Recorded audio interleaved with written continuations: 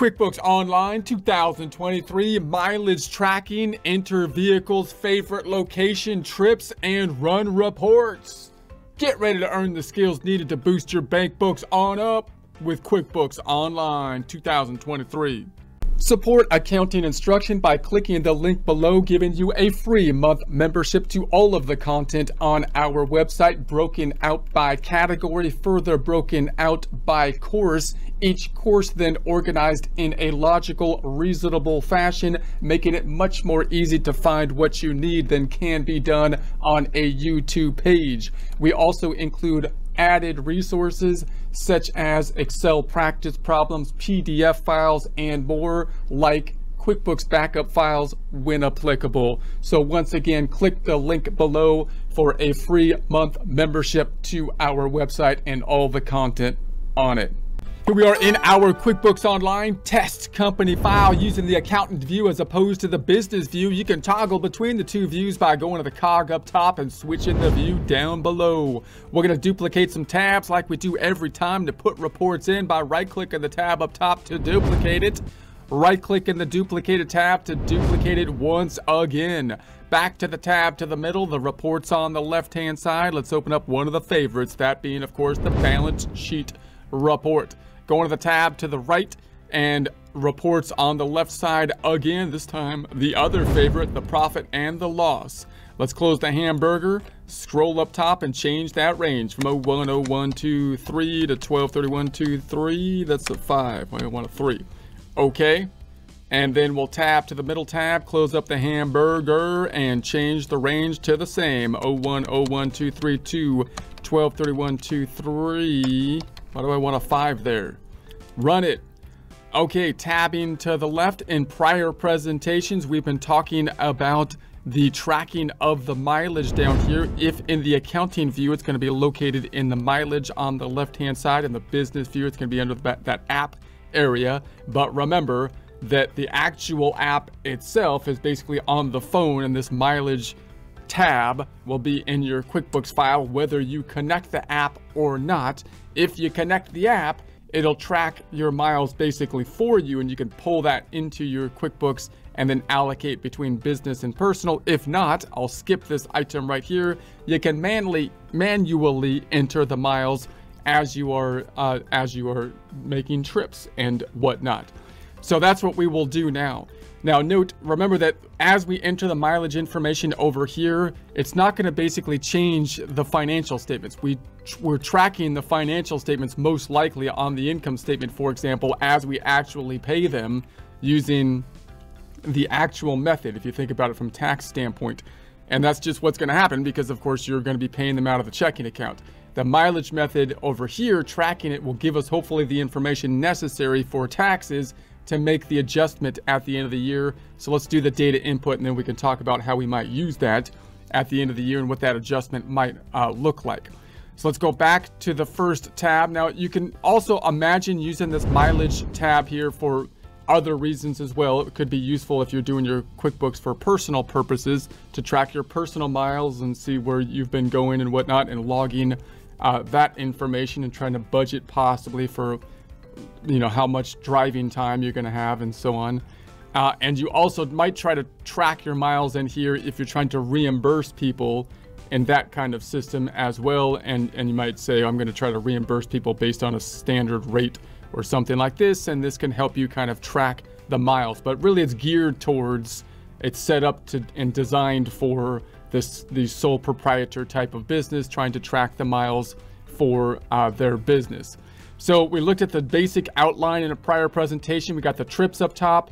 We've got the uh, import trip, download trips, manage favorite location, and manage rules. It's going to give you a quick summary of the information that's had the data input as you're actually entering trips. Then it's going to put them into unreviewed for those that you have not allocated to business and personal, and then the business, the personal, and all of them. Obviously, the business ones are the ones that are going to give you the little calculation up top for the possible tax benefits uh, related to it.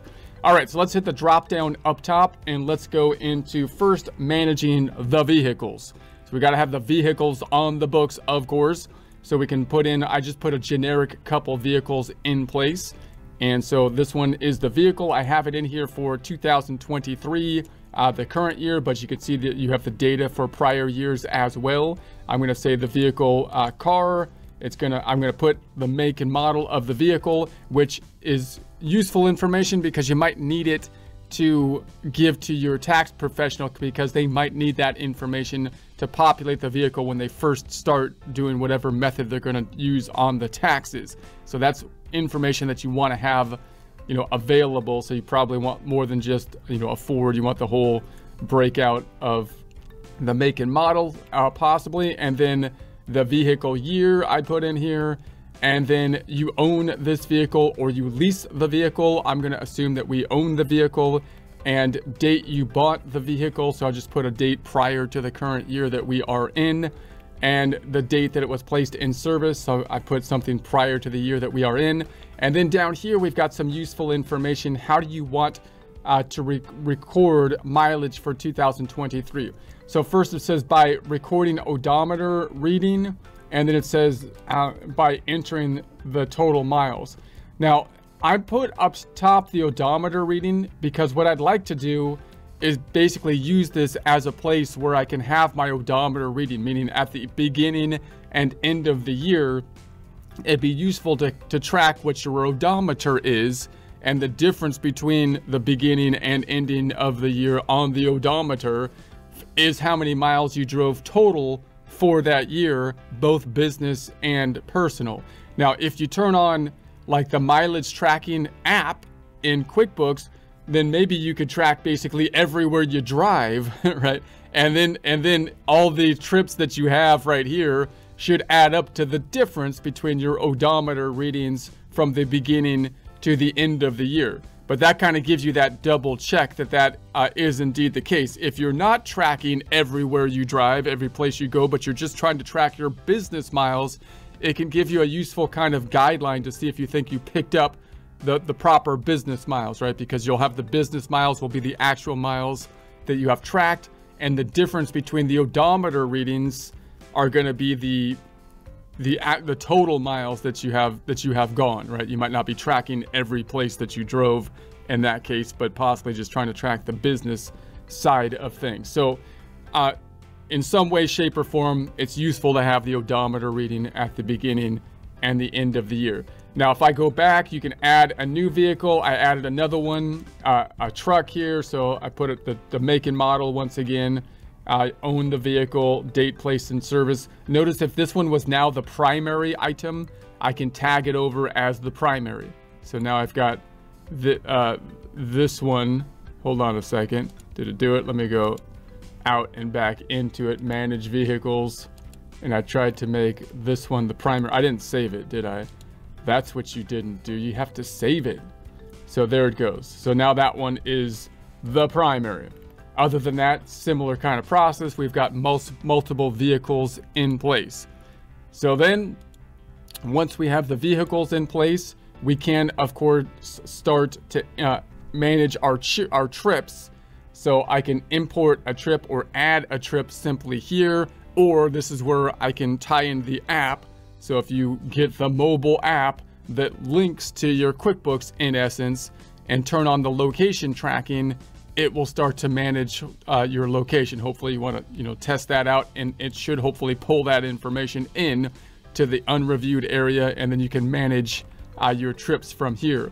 If you're going to manually put the information in, sometimes it's useful to add the favorite locations. So you might just say, I, I, I have a small business and I drive to a certain client oftentimes.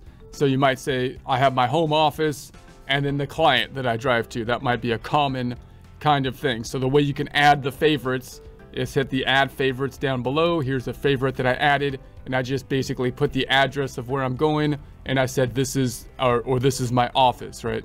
So everything that I drive from my we talked about the the rules for when you can deduct uh, mileage for taxes, and generally, if that's your office, your principal place of business, where you're driving from there, your principal place of business uh, could be possibly deductible. So then you might want to put your standard places where you're driving uh, like this, and that can help you to to to put the information into the system possibly a little bit more quickly. And once you have that, you could also then uh, manage your mileage rules. Now, I think that these rules uh, might be best applicable if you're doing the the auto app because you could set a rule to basically assign something to business or personal and then and then possibly hopefully when you're doing the the tracking of the app it can pull in to business or personal properly. If you're just doing the data input, possibly just for the business side of things on a manual basis, it doesn't look to me like those rules are adding a lot of value. However, if you're doing the application, then uh, that could save you uh, some time with the rules.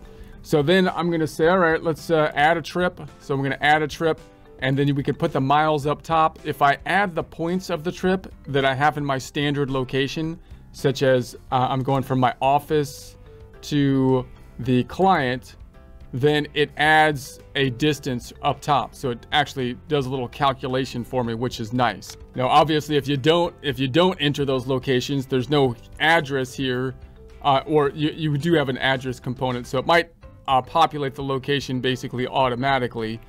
Uh, if not, then you're gonna have to pull. You can pull in the location, do a map quest type of search, and pull in the location. And then the business purpose, meeting with a client, I'm gonna say.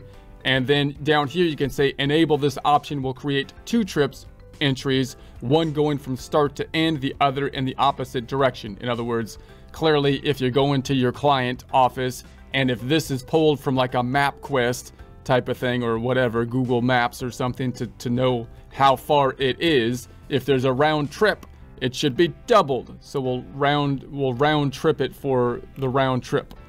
And so then I'll say save, boom. Now note here that it put one into into unreviewed and the other into the business area. So it's a little bit wonky on where they're going to go, but obviously you could just go into the unreviewed area if it hasn't allocated it out because we assigned it to business and we're going to say this is going to go to the business side of things. And so I'll save it purpose, it needs a purpose, meeting with the client. Boom. And then it should pull it over to the business side now. So if we go to the business side, we've got the two items here. So uh, the start end, start end. So if I go into both of these things, it made uh, two of them with the start point, the office, the, the endpoint, the client. And then this one it said the start point is is the client and the endpoint is the office, right? So it did the round trip by adding two separate uh, trips in there, both of them uh, having a distance of 2.3, which adds up to a total of point of 4.61. So there's the total miles that we're tracking for business. It's multiplying that by the standard mileage rate, basically from the IRS tax code for 2023, and giving us this 3.02 for the deduction.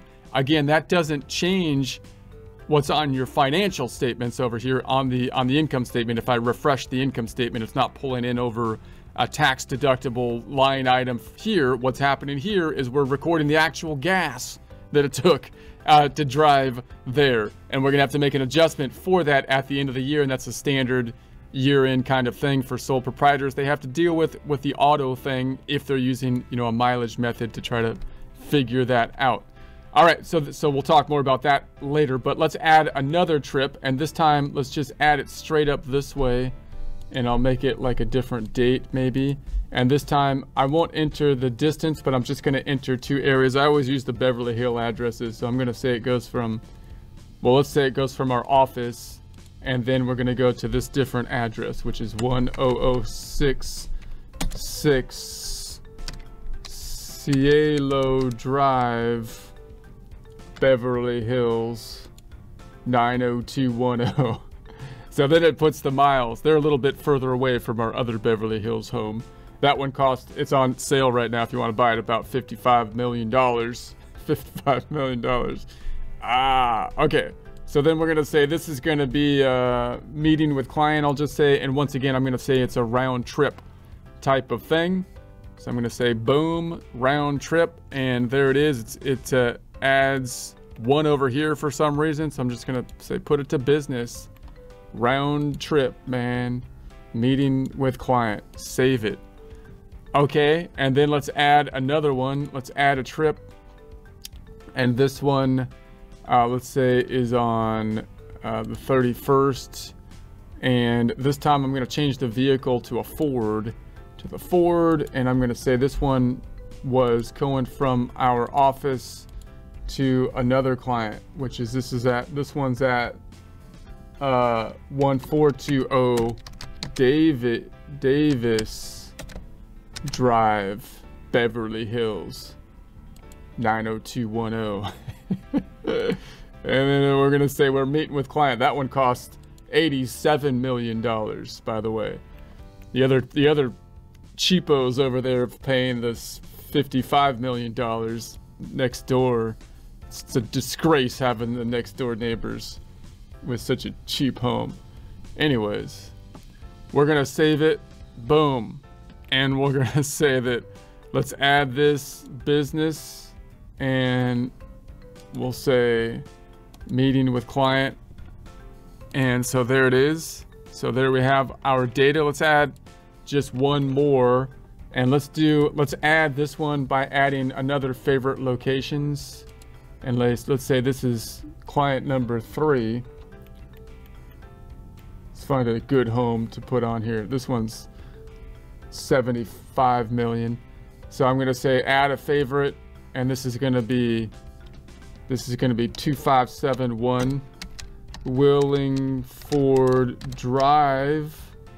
Beverly Hills 90210 and this one's going to be client client 2 they're pretty they're a nice client over there okay so then we're going to say let's add a trip and say so notice it's going back to my Toyota for default because that's the primary but I used my Ford this time.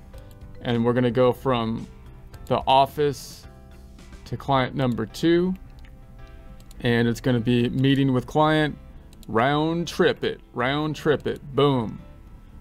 So there we have it. So now we've got that one showing up here and let's put it into the business side and then we'll say this is going to be business and I need a reason meeting with client okay and then let's just add a couple personal ones in there just for the, just for the fun of it I go to this visit this other person that uh, lives in a, a, a, cheap location in Beverly Hills, but they're cool anyways.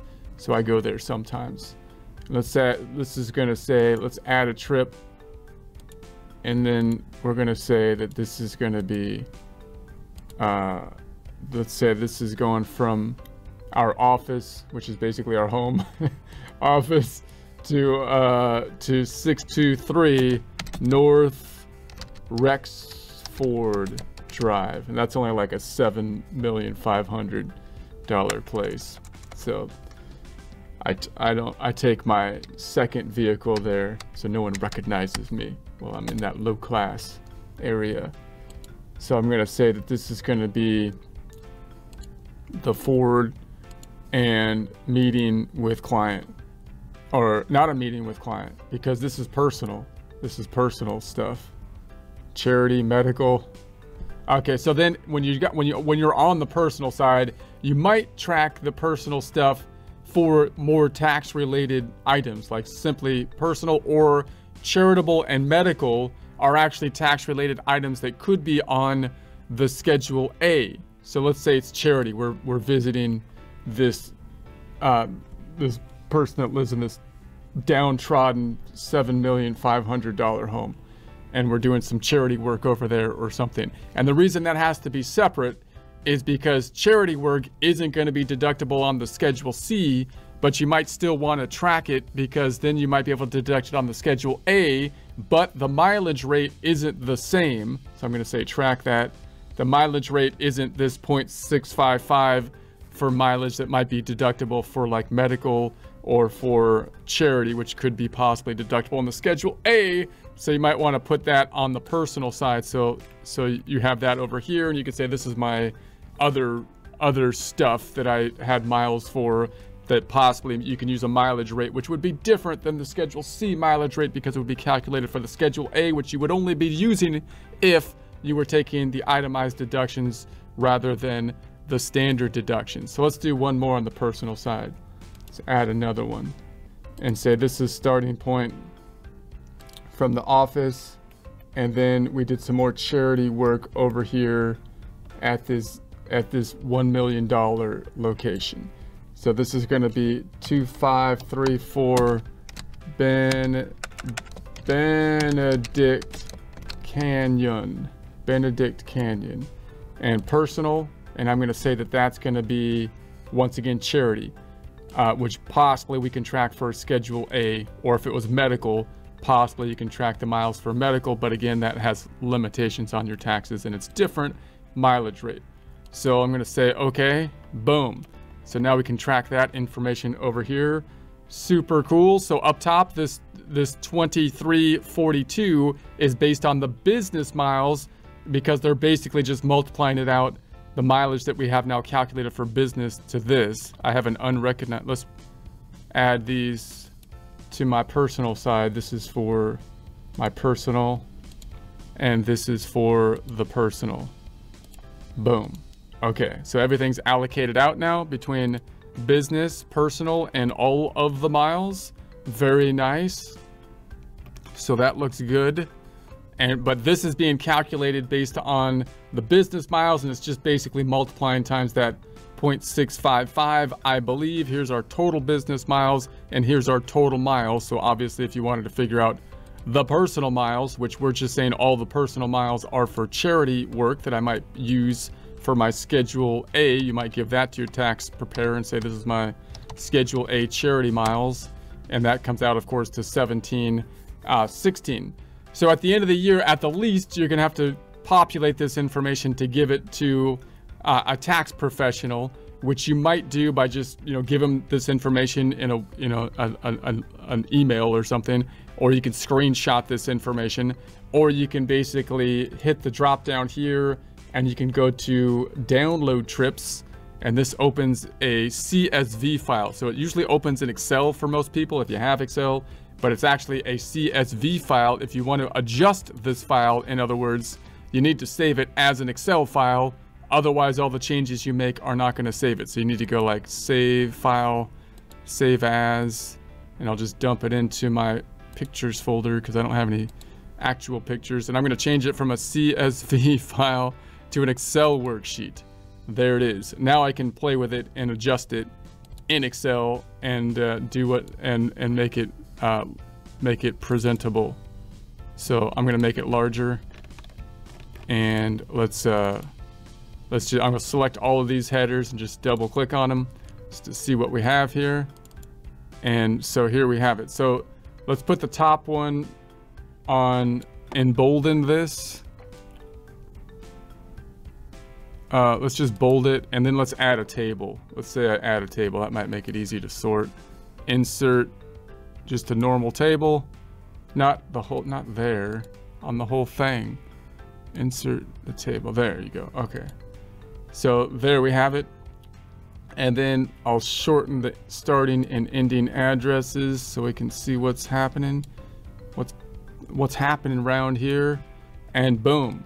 Now, if this was all just business stuff, you can just basically add the, the whole thing up. I can add a totals row. Let's go to our tables and add a totals row. And let's add a sum here. So it's just summing up. I'm just adding up these, which adds up to 5292.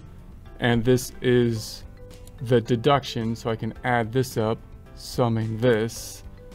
And boom, that's just adding these up so that looks good. However, we've got some personal stuff here. Now, if this was all business stuff, that you could just basically do that. But the fact that we have some personal means that I could do a filtering thing here. So I could say, let's filter this by, uh, by just the business. And so there's just the business stuff and you might have two tabs then so you can give this information to someone. Here's my business stuff and then here's my personal stuff which is actually charitable. There's my charitable miles, and here's my personal or business miles, right? That's one way you can do it. You can also use a, a pivot table. Might as well do that for the fun of it, right? You can use it. You can insert a pivot table say, I'm to, well, we don't need to do that. I won't do a pivot table. But that's, that's it. And then if you got audited or something like that, you've got the information here and you might give it to your tax preparer as well. So they kind of have this backup information to give you a, a tracking of your miles as opposed to just saying the odometer method where you're just like, uh, I think I drove the odometer method is like, let's see, where's managed vehicles? Uh, uh, I, th I think my starting miles were, were hold on a second. Didn't I have an odometer? I think my starting miles were 10,000 and my ending miles I think are, are, like 20, 21,000. So I drove like 11,000 miles during the year and I'm just going to take like 80% of it as deductible or something like that. If you do that, then you're just estimating out of the blue. And if you get audited on that, you don't have a whole lot of evidence of the of where you went and whatnot. So what you'd like to so what you'd like to be able to do is is be able to give this supporting information to the deduction that you're taking. And note that this uh, deduction amount, if I if I pull over how they're calculating this, is that 0.655, right? That's just the mileage rate. So we could just say 0.655. And then if I drove this many miles times that, uh, then you would think well, hold on. This still has some personal stuff in it. Let's filter this back down to just business. So then, so then it, then it comes out right, right? So it's just the 35.76 business miles times this amount, and that's where they're getting this business deduction. Obviously, your accountant will take this information and just enter the business miles in, uh, and then and then the system will calculate this in this basically the same way, the tax software.